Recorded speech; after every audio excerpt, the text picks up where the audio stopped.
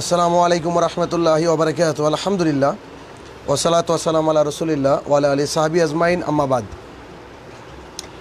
Fine খার আল হাদিসি কিতাবুল্লাহ ওয়াখার আল হাদি ওহাদি মোহাম্মদিন সাল্লাহ আলী ওসাল্লাম وشر الأمور محدثاتها وكل محدثة بدعة وكل بدعة جلالة وكل جلالة في النار فأعوذ بالله من الشيطان الرجيم فما يكفر بالطاغوت ويؤمن بالله وقال اللقمان حكيم يا بني لا تشرك بالله إن شرك لظلم عظيم وقال نبي الأمين صلى الله عليه وسلم من عمل عملا ليس له أمرنا فهو رد সম্মানিত উপস্থিতি আহ, প্রথমে আল্লাহ সুমতাল্লাহ শুক্রিয়া অতপর মোহাম্মদ সাল্লাহ সাল্লামের উপরে সালাত ও সালাম আহ, নাজিল হোক আল্লাহ আমিন আজকে আহ, অনেকক্ষণ থেকে লাইভে আসবো ভাবছি কিন্তু লাইভে আসা হচ্ছে না তার মেন কারণ হচ্ছে মানে কোনো জায়গা নেই যে জায়গায় বসে একটু লাইভ করব।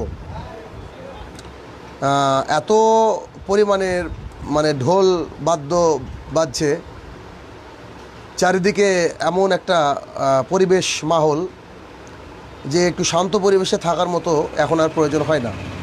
কিছুদিন আগে মনে পড়ে একটা অনুষ্ঠানের জন্য থানায় গিয়েছিলাম। স্যার, আমরা একটা অনুষ্ঠান করব, আমাদেরকে একটা অনুমতি দেওয়া হোক। তো স্যার বলেছিল যে, তোমরা কোথায় কোথায় মাইক টাঙিয়েছো? তো আমি বললাম যে, এত দূর এত দূর মাইক টাঙানো হয়েছে। তো স্যার বলছে যে যে মাইক খুলে ফেলতে হবে। কারণ সিক্সটি ডেসিবেল যে ইয়া সাউন্ড সিস্টেম সেটা যদি আপ হয়, তাহলে সেটা মানুষের জন্য ক্ষতিকর দিক। এগুলো আমরা প্রশাসন একটু খেয়াল করি। তো এখন বর্তমানে যে সিচুয়েশন এখনকার যে বর্তমানের প্রেক্ষাপট আজকে যে ডিজে বাজছে, এই ডিজে, জানি না কত ডেসিবেল এটাকে সত্যি সিক্সটি ফাইভ নাকি তাতে, তাকে যদি আবার আট দশ দিয়ে মাল্টিপ্লাই করলে যা হয় তাই। আল্লাহ ভালো জানে। তো এইসবগুলো আমাদের পরিবেশের কোনো ক্ষতি করে না, বরং পরিবেশের মনে হয় উপকারী করে। সুশিক্ষিত মানুষের কথা এগুলা যাই হোক, আমার আলোচনা আসলে ওই দিকে নয়। আমার আলোচনা একটু অন্যরকম। সেটা হচ্ছে পশ্চিমবঙ্গের একজন বিখ্যাত দায়ী ইসলামিক স্কলার। তিনি একটা পুজো উদ্বোধন করেছেন। তার ছবি ইন্টারনেটে ভাইরাল হয়েছে। সেই উদ্বোধনের ছবি নিয়ে অনেকে আমার কাছে বহু পোস্ট করেছেন, আমার কাছে ইনবক্সও করেছেন এবং অনেকে বলতে চাইছেন যে, শাহিনুর ভাই, আপনি চুপ বসে আছেন কেন? এখন এই বিষয়ে কেন কথা বলছেন না? মানে শাহিনুর ভাই সব সব কিছু মানে কি বলে না, ঠেকা নিয়েছে না কি বলে একটা কথা? মানে শাহিনুর ভাইকে প্রতিবাদ করতে হবে, আর যেন পৃথিবীতে আর কেউ নেই, এরকম একটা ব্যাপার। তো আমি প্রতিবাদ করব আর আপনারা শুনবেন, আর বালি, বালিশে মাথা দিয়ে ঘুমাবেন রাত্রিবেলায়। ঘুমানোর সময় একবার ভাববেনও না বা ভাবার অবকাশও আপনাদের হবে না, তাহলে তো ব্যাপারটা অন্যরকম, তাই না? দেখুন কে কী করল, সেটা বড় কথা না, আমরা কি করছি সেটাই বড় কথা। আমরা আল্লাহ সুবাহ তালা কোরআনুল কেরিমের মধ্যে বলছেন, সতেরো নম্বর সুরা, পনেরো নম্বর আয়াত, যে প্রত্যেকেই প্রত্যেকের বোঝা বহন করবে। সো কে কী করল তার জন্য আপনাকে জবাবদিহি করবে না।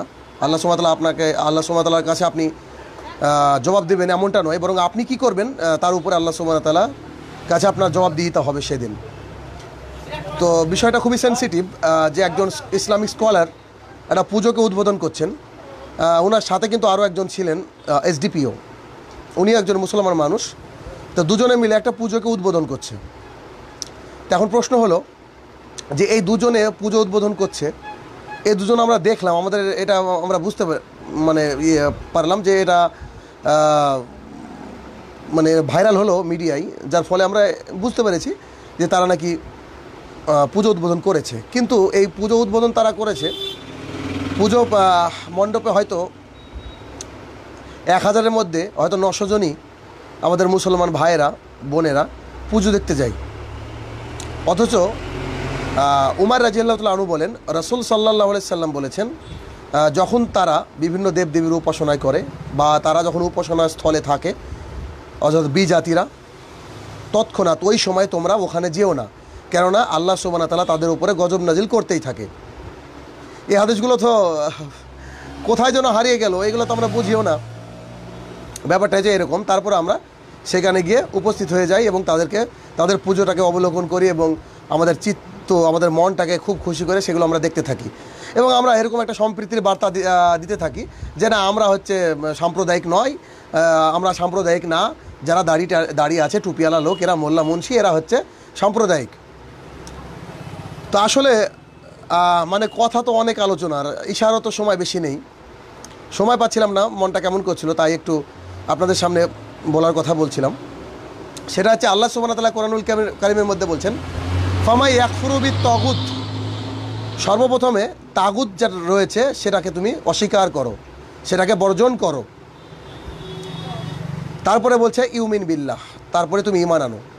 একটা জমি, যে জমিতে আপনি ওই আবাদ করবেন, ওই আবাদ করার পূর্বে কিন্তু জমিটা আপনাকে আগাছাকে ক্লিন করতে হবে, পরিষ্কার করতে হবে। একটা ঘর, যে ঘরে আপনি সুন্দর সুন্দর কিছু আলমিরা, শোকেস ইত্যাদি ঢোকাবেন তার পূর্বে আপনাকে ঘরটাকে পরিষ্কার করতে হবে, পরিচ্ছন্ন করতে হবে। তো ফার্স্ট অফ অল আপনাকে সেগুলোকে পরিষ্কার করে তারপরে আপনি ঢোকাতে পারবেন। যেমন সিমিলারলি আমরা যখন ইমান আনব, ইমান আনার পূর্বে কিন্তু যত তাগুদি শক্তি রয়েছে, অর্থাৎ আল্লাহ ছাড়া অন্য কাউকে উপাসনা করা যায়, এমন কিছু শক্তি রয়েছে, সেগুলোকে ফার্স্ট অফ অল বর্জন করতে হবে। দেন ইউমিন বিল্লাহ, তারপরে কি করতে হবে? আল্লাহর প্রতি ইমান আনলাম, এটা বল মানে বলা যাবে। যেমন দেখুন, কালেমা, শাহাদাত আর শাহাদু আল্লাহ ইলাহা ইল্লাল্লাহ আমি সাক্ষ্য দিচ্ছি যে আল্লাহ ছাড়া কোনো সত্য মাবুদ নেই। দেখেন আশাহাদু আল্লাহ ইলাহা আমি সাক্ষ্য দিচ্ছি যে there is no God but মানে কোনো মাবুদই নেই পৃথিবীর বুকে। তাহলে কোনো মাবুদ নেই যে নেগেটিভ সেন্স এটা আপনাকে আমাকে বুঝতে হবে আগে যে আমরা কোনো মাবুদকে আছে বলে স্বীকার করছি না, বা যদি থেকেও থাকে দে আর ফলস গড তারা হচ্ছে ভুয়া মাবুদ, তারা মাবুদই নয়। একটা মুসলমানকে, একটা ইমানদারকে ইমান আনতে গেলে পূর্বে কি করতে হবে? আগে কনফার্ম করতে হবে, আল্লাহর কাছে কনফার্মেশন নিতে হবে যে আল্লাহ, আমি স্বীকার করে দিয়েছি যে there is no God do God কোনো মাবুদ নেই। এবার তারপরে বলছে যে ইল্লাল্লাহ, আল্লাহ ব্যতিরেক, অর্থাৎ কোনো সত্য মাবুদ নেই আল্লাহ সোবানা তালা ছাড়া। তো এই ছোট্ট কথাটা যারা বুঝে না, এই ছোট্ট কথাটা যারা মানে না, তারা কোনোভাবেই মুসলমান হতে পারে না, ইমানদার হতে পারে না। এখন প্রশ্ন হলো যে, মিডিয়ায় ভাইরাল হওয়া একটা ফটো যেখানে দেখা যাচ্ছে যে পশ্চিমবঙ্গের একজন বিশেষ খ্যাতনামা বক্তা, উনি পুজোকে উদ্বোধন করছেন। তাহলে এটা অনেক বড় পাপ করেছেন উনি, অবশ্যই উনি শাস্তি পাবেন। এখন আপনাদের অনেকের প্রশ্ন যে একটা ইমানদার মানুষ, একজন Islamic scholar, Islam Islam preacher Islamic একজন বক্তা ফেমাস বক্তা, উনি পুজো উদ্বোধন করতে গেলেন, তাহলে আমরা সাধারণ মানুষ তো পুজো দেখতেই পারি বা যেতেই পারি। এটা আপনার আমার ধারণা হতে পারে। একটা কথা কান খুলে শুনে রাখুন এই পৃথিবীর বুকে অনুকরণের যোগ্য একজন মানুষও নেই। আবারও শুনুন, এই পৃথিবীর বুকে অনুকরণের যোগ্য একজন মানুষও নেই। I repeat the line again আমি পুনরায় লাইনটা আবারও বলছি, কান খুলে শুনে রাখুন, এই পৃথিবীর বুকে অনুকরণের যোগ্য একজন ব্যক্তিও নেই। অনুকরণের যোগ্য, অনুসরণের যোগ্য যে ব্যক্তি, তিনার নাম হচ্ছে মোহাম্মদ রসুল্লাহ সাল্লাহ সাল্লাম। উনি হচ্ছেন আপনার রোল মডেল আল্লাহ রসুল সাল্লাহ সাল্লামকে মানতে হবে। কোনো বক্তাকে আপনি মানতে যাবেন মানে? এটা কেমন কথা? বক্তা বা ইসলাম প্রচারক, তাকে আপনি অনুকরণ করবেন, সে আপনার আইডল হবে, ও আপনার আইকন হবে। হাউ ইজ ইট পসিবল এটা হয় কি করে? এই ধারণাটা আমাদেরকে পাল্টাতে হবে। কোনো বক্তা আমাদের জন্য অনুকরণীয় নয়। একমাত্র অনুকরণীয়, অনুসরণীয় হচ্ছে মোহাম্মদ রসুল্লাহ সাল্লা সাল্লাম আল্লাহ সুবানা তালা কোরআনুল কেরমের মধ্যে বলছেন মাতা কুমুর রসুল ফাকজু কুমানু ফান্তাহু। সুরা হাসর আত্মম সাত। আল্লাহ তালা বলছেন যে যে মোহাম্মদ সাল্লাহ সাল্লামকে মেনে নাও। মোহাম্মদ সাল্লাহ সাল্লাম যা দিয়েছে তা গ্রহণ করো। তিনি যার থেকে নিষেধ করেছে তার থেকে দূরে থাকো। সো আপনি যদি কাউকে ফলো করতে চান, তো এই হব টু ফলো মোহাম্মদ সাল্লাহ সাল্লাম আর পৃথিবীতে কেউ নেই। কাউকে ফলো করতে পারেন না হ্যাঁ। তবে মানুষকে শ্রদ্ধা করতে পারেন, ভালোবাসতে পারেন, সম্মান দিতে পারেন। কোনো বক্তাকে আপনি ভালোবাসতে পারেন, শ্রদ্ধা করতে পারেন, সম্মান দিতে পারেন, কিন্তু তাকে অনুকরণ আপনি করতে পারেন না। অনুকরণ করতে গেলে একমাত্র মোহাম্মদ সাল্লাহ সাল্লামকে অনুকরণ করতে হবে। কিসের মেহবুব, মুর্শিদ আর কিসের কে? এসবগুলা কিচ্ছু না। শুনুন, টাকার মোহে পড়েছে বহু মানুষ পৃথিবীর বুকে। টাকার মোহে পড়ে মানুষ তার ইমানটাকে ধ্বংস করে দিয়েছে। সামান্য টাকার বিনিময়ে, সামান্য খ্যাতি, যশ এর বিনিময়ে মানুষ ইমানটাকে বিক্রি করে দিয়েছে। তার জলযন্ত্র প্রমাণ আপনি যতদিন বেঁচে থাকবেন, ততদিন পাবেন। দেখুন, বহু মানুষ টাকার বিনিময়ে, কেউ ক্ষমতার বিনিময়ে নিজের ইমানকে বিক্রি করে দিয়েছে। আল্লাহ সুমাতালা বললেন, ফামা ইয়াক ফিরবে তাগুদ ইউ হ্যাভ টু ফার্স্ট দিনেই প্রথমে আপনাকে অস্বীকার করতে হবে যে এই ধরনের যত মাবুদ রয়েছে, তারপরে আপনাকে ইমান আনতে হবে। তাহলে এখানে বিষয়টা বুঝতে হবে। তাহলে অনুকরণের যোগ্য কে? মোহাম্মদ রসুল্লাহ সাল্লাহ সাল্লাম। অন্য আর কেউ নয়।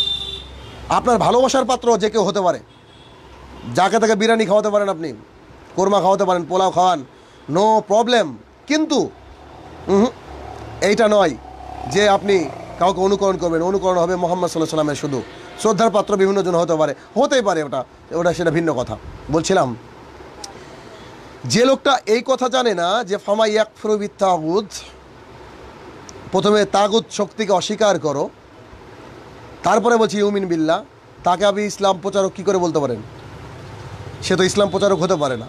আরে মানুষের কাছে টাকা নিয়ে কোনটাকে বক্তৃতা করে বাড়ি গাড়ি বহু বক্তাই করল বহুজনাই করল। কিন্তু তাতে তাদের দুনিয়াটা বাঁচলো। যদিও পরিপূর্ণভাবে বাঁচেনি, তবে দুনিয়াটা বাঁচলো। তারা লাঞ্ছিত হচ্ছে আজকে, দেখুন। এই ধরনের বক্তারা, এই ধরনের ইসলাম পিএইচএস যারা রয়েছে, তারা অবশ্যই লাঞ্ছিত হবে ইনশাল্লাহ হবে হবে। আল্লাহ রসুল বলেছেন, হবে মানে অবশ্যই হবে। সো এটা একটু খেয়াল করুন।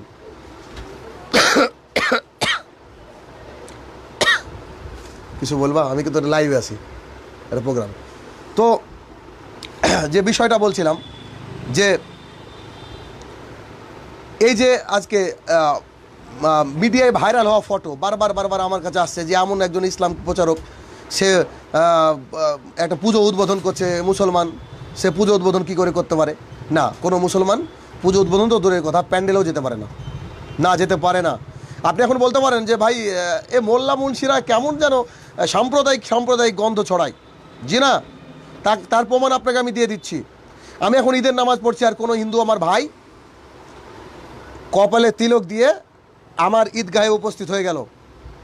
গিয়ে সে আমার সাথে কি সালাত আদায় করবে? সে রাস্তা দিয়ে যাচ্ছিল, তাকে বললাম যে, ভাই, চলুন না সালাত আদায় করুন। সে বলছে, না, ভাই, আমি তো হিন্দু মানুষ, আমি তো সালাত আদায় করব না।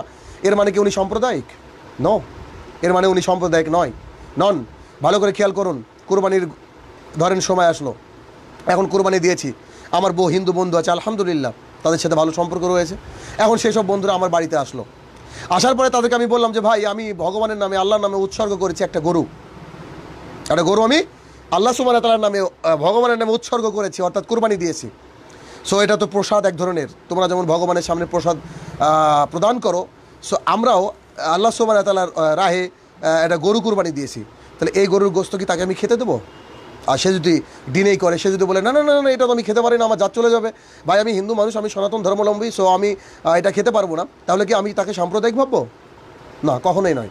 তার ধর্ম তার কাছে, আমার ধর্ম আমার কাছে। আল্লাহ সুমান তালা বলছেন যে লেখুম দিনু খুব বলিয়ে দিন, তোমার ধর্ম তুমি করো, তাদের ধর্ম তাদেরকে করতে দাও। এটা হচ্ছে ম্যাজেস্টি এটাই হচ্ছে ধর্ম নিরপেক্ষতা যে আমার হিন্দু ভাই, দেখুন আমার দোকান এখানে এই পাশেই প্যান্ডেল হয়েছে। আলহামদুলিল্লাহ, তারা এখানে সারাদিন চাঁদা তুললো পুজোর। আলহামদুলিল্লাহ, তাদের সাথে আমার আলাদা সম্পর্ক রয়েছে। কিন্তু তাই বলে কি আমি তাদের সাথে বাগবিতণ্ডা করব, তাদের সাথে ঝামেলা করব, মারামারি করব, কি কিংবা তারা আমার সাথে মারামারি করবে, এটা হয় কি করে? এটা তো এটা খারাপ দিক।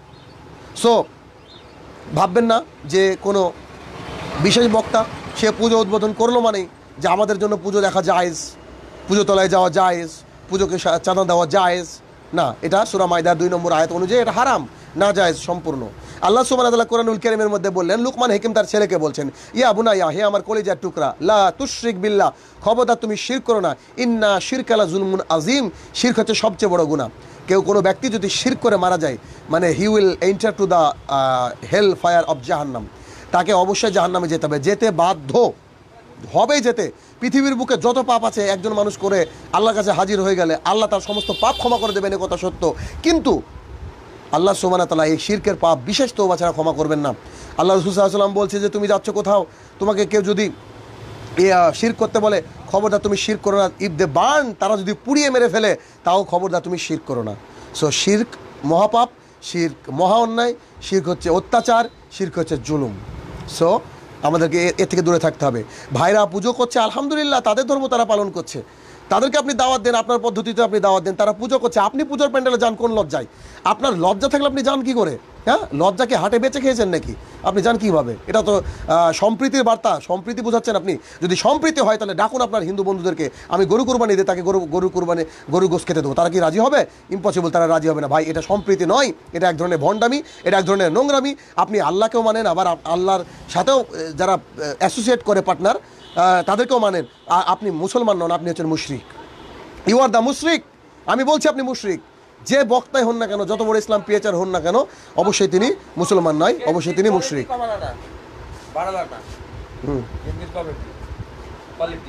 যা পরেশ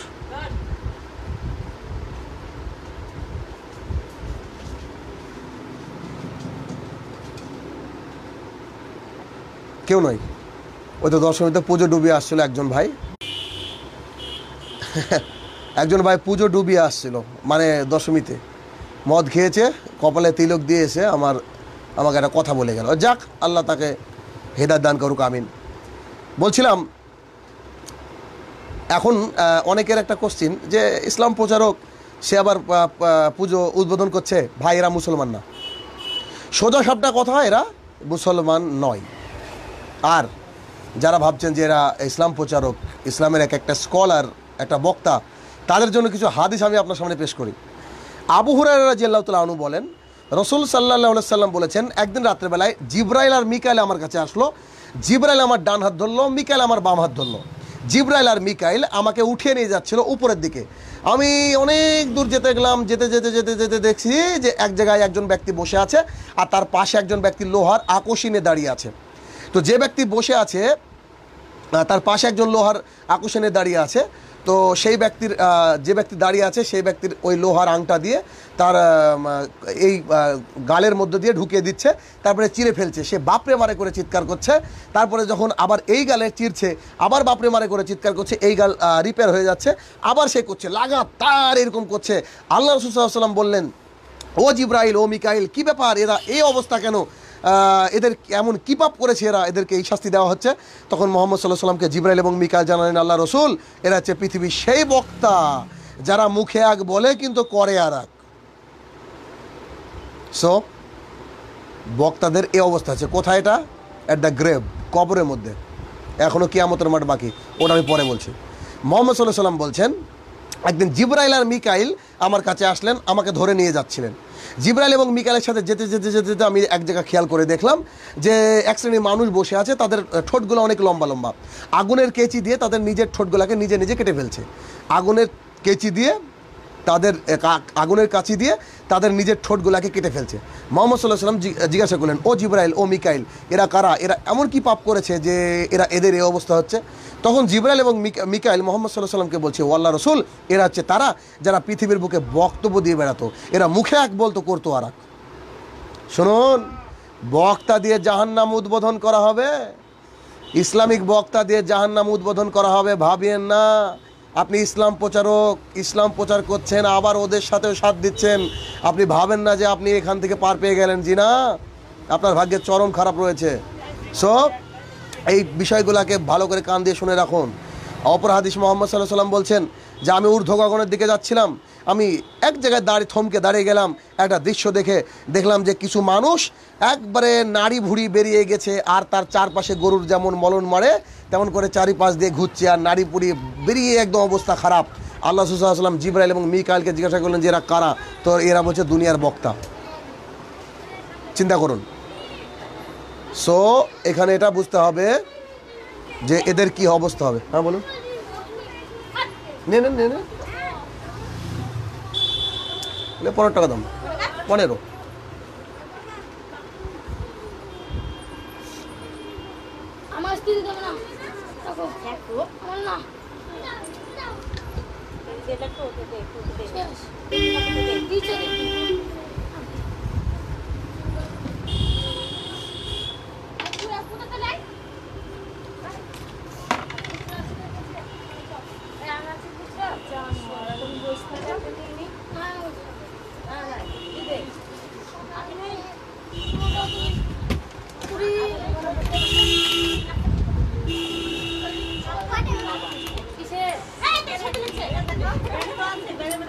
নিন